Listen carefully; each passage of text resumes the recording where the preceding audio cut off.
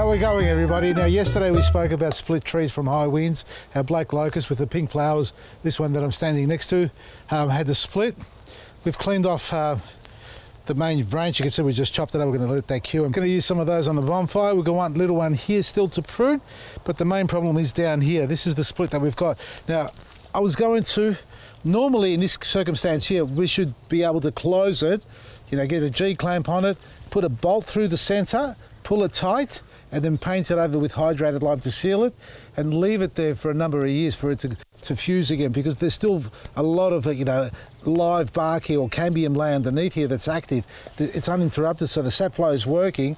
And it's, if it was only open for half a day it'd be easy enough to push it tight well with a little bit of force. A bolt, a 12 inch, sorry, a 12 mil bolt that goes through. It probably have to be about 20, 20 centimeters, 25 centimeters long with washers on the end, you pull that tight and you leave it there and it uh, refuses itself over time. But because we've got borers in here, this is going to come off. Now, whether I fill it in with a mortar, plaster of Paris or anything else that goes hard is yet to be decided. We need to see what's going on inside because at the end of the day, I may not be able to fill it in. Just put a whitewash over it so we can seal it, protect it. And I'm going to use our hydrated lime. This is our disease control pack or part of it and make a little mix to turn it into a paint. Now, hydrated lime, you've probably seen it used in many gardens, you know. Greeks predominantly or Europeans like to paint their trunk. It's a natural antiseptic or sterilizer. It's, it stops bacteria developing or disease or even insects traveling that easily. It's cheap. And I'm going to need to put a fair bit of that stuff in here to, to, to buy, that is, folks. It's cheap enough to buy and easy enough to use. And when you do make the mix, it's always good to let it sit for a while. Most times I suggest overnight so that it infuses properly. You can see that it's starting to turn into a paint. Still a little bit runny, folks. Put a little bit more in there. You don't want it as thick as dough. You want it sort of creamy and the longer it sits the creamier it gets because it starts to absorb all the little microscopic particles of the hydrated lime. As you can see there's still lumps in there. Once they hydrate this will thicken up a lot more. Now I don't think I've actually made enough so more water, more hydrated lime. Just put this aside to let it infuse a little bit longer and let's get stuck into this. I suspect they've actually entered through this little crack here. This and if you have a listen to this, that's hollow. That is hollow. All right, let's just cut this off and see what's going on inside, huh?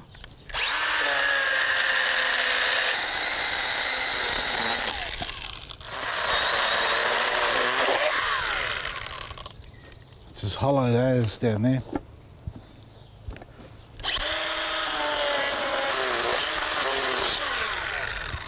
Have a look at that the further down I go, the bigger the cavity. Oh, Pandora's box. Oh, look at that. They're all nesting in there.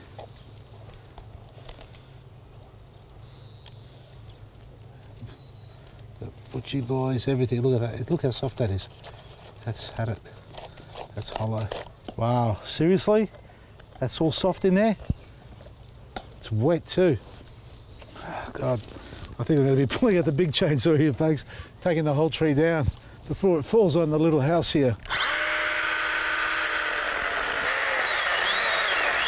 Look at that, it's just sawdust in there. As I'm actually cutting into the centre, I can feel it's really, really loose. Well, they certainly didn't move in yesterday, did they? After the tree fell. Look at this. Look at this sawdust and mud. I'm down to here so far. It's hollow down to there. Oh, I don't know. Touch and go here.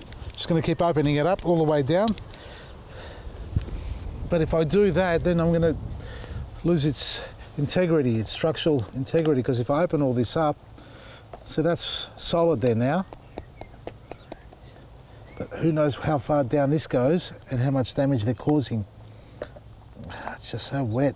Folks, if you had a tree that's split from the high winds, and you've had a close look at it and there aren't any bugs or grubs or you know borers in there, uh, it's purely because it was top heavy and the wind was the winds were too high.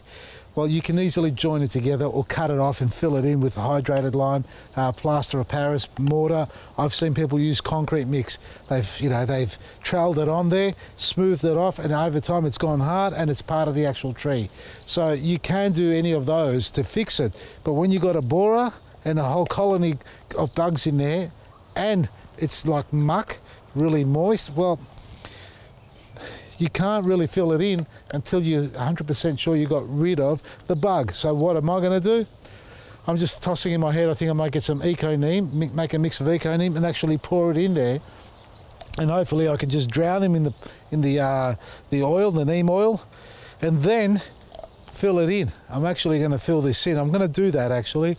I like the tree. I'm, I mean, they're tough as nails, Robinias, but you know, they grow really fast. This one's really stretched out.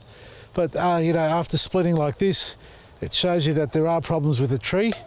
And here, you can see where the, there's a crack here. That's where all the moisture's been running through. That's why it's so darkened off, because it was oxidizing. So it was holding on there, but not here. Now, they were eating their way through this little crack here. Well, it's not cracked, but over time, as it was, you could see they were eating into it. It's starting to rot out all that stuff there. So that's why it was selling, sounding hollow. So Eco Neem, I'm going to pour it in. First I'm going to take out as much mud as I can. Pour, pour Eco Neem in there. And then I'm going to see if I've got any rapid set concrete or something like that. I can fill it in. I've been thinking about this. I think the only way I'm going to be able to try and salvage this in any shape or form is by drilling a hole down below here. I'm going to go just above the ground level, hopefully well, I don't hope to, I hope I don't encounter the cavity, therefore have to drill a bit higher. But anyway, if it is down here, it is down here. Drill a hole so I can flush it out. So I'm going to put some water in there and see if I can flush out as much of those, or that sawdust that's just turned to muck.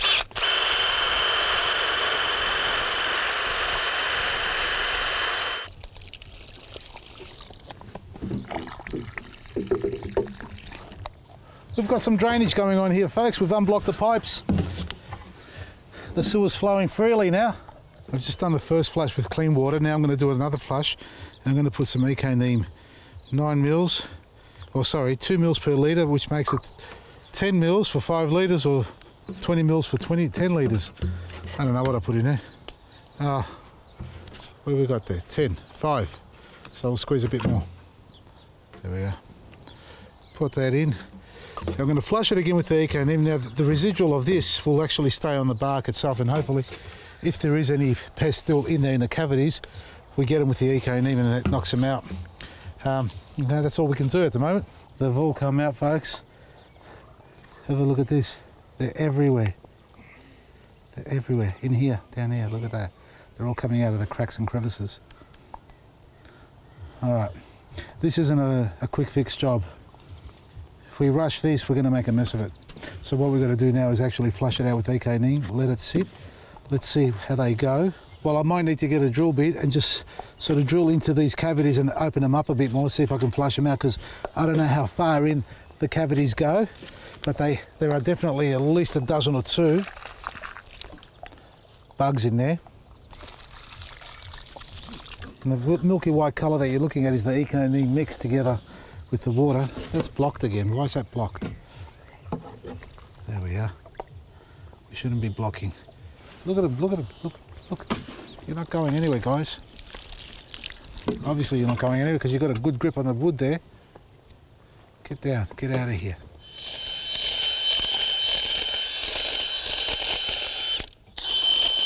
Not the right tool, but I tell you, you know how to use your tools, make anything work. Wow, wow, how thick's a trunk? Now folks, don't go doing what I'm doing like this with a spade bit. Honestly, if you haven't done this before and you haven't used these sort of tools before in, in crazy ways like I'm doing at the moment, then don't go ahead and try it, okay? So don't do what I do. Call an arborist in, call a, call a tree surgeon in, because I've just woken up the sleeping colony here. And I've got to keep drilling. Look, they're all the way in there. There's a whole, there's a whole soy for you Greeks out there, you know what I'm talking about. The whole family, cousins, uncles, aunties, neighbours, you name it, they're all here. Yeah, there's probably a different type of tool you can use to do this, but I haven't got it here. Well, it's about 200 metres away and I'm not walking away from this. I'm going to get stuck into this and I, I'm probably going to end up cutting this tree down to the ground because I'm going deeper and deeper into the trunk. I'm about halfway into the trunk and I'm not finding any soft wood or fresh wood, sorry, not soft wood. I've got plenty of soft wood here, rotten wood. I need to find some clean wood here. Look at this, look at this, look at this whole colony here. That's just from another hole that I just drilled into the into the center of the trunk. And now they're all in there. Now I've got to try and get them out of there. Folks, there's literally hundreds of slaters in here. Now they're feeding off this decaying wood because there were borers in here once upon a time. They may still, still be in here.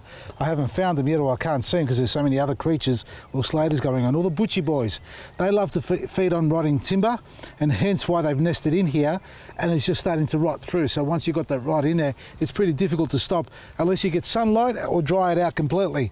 And I've got to get to every little nest in there too. So leave this with me. Part two is going to come up we're going to see what's happening you know, in a day or two, how it dries out, and then we start to fill it in. In the meantime, folks, check out our website, vasilisgarden.com. 44% off everything online for four days. Melbourne Cups sharing the spirit across Australia. Enjoy some great deals and specials on a wide range of products. It's vasilisgarden.com and the coupon code word is STORM. Type that in and watch the prices drop. From me, Vasili, Maresi.